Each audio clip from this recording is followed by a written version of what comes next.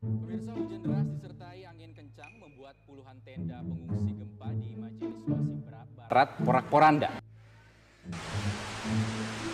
Anda menyaksikan breaking news Tibuan pemirsa pesawat komersial rute Jakarta Pontianak hilang kontak dan kita Aduh, ngeri kali lah berita-berita sekarang nih. Kesian aku nengoknya. Ada yang pesawat jatuh, tanah longsor, banjir. Kayak mana lah perasaan orang-orang yang kena musibah itu. Apanya jangan-jangan mau kiamatnya sebentar lagi dunia nih. Aduh, mesti cepet-cepet tobat aku nih. Banyak kali dosaku sama orang tua aku soalnya. Rido, Rido, mana kau Rido? Rido, ah di sini ya kau rupanya. Ada apa emangnya pak? Kenapa bapak teriak-teriak gitu manggil aku? Aku lagi nonton berita pun. Ada apa emangnya? Is anak nih, bukannya pergi sekolah malah nonton berita kau. Sampai masih di sini kau masih belum berangkat juga. Ada-ada aja lah kau nih.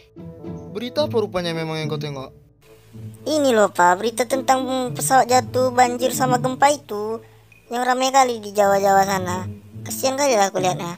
Apanya jangan-jangan mau kiamat lagi sebentar lagi. Betulnya tuh pak. Astaga no, tak boleh kau ngomong kayak gitu. Kasihan mereka. Emang ah, kok bisa pula kau ngomong mau kiamat sebentar lagi? Kau pikir Tuhan ya kau? Bukan gitu pak, soalnya ada kata-kata peramal 2021 ini mau kiamat. Makanya aku jadi takut. Aku kan banyak kali dosaku sama bapak. Ya kan pak? Astaga Rido, Rido.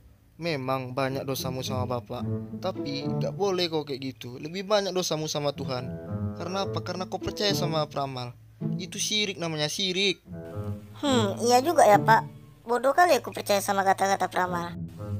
Mungkin dia juga asal-asal ngomong aja kalau ada berita-berita macam itu. Hmm, tobat, tobat. Tidak berani lagi aku percaya-percaya sama hal-hal tahayul kayak gitu. Makasih ya pak, berbagi tahu aku. Iya, ya udah berangkatlah lagi kau sana. Selamat nanti. Iya pak, ini aku mau berangkat dulu nih pak. Tapi pak, minta dulu lah duit jajannya kan. Hei, sekolah kau terlambat. Uang jajan kau nomor satu. Memang nih dodo.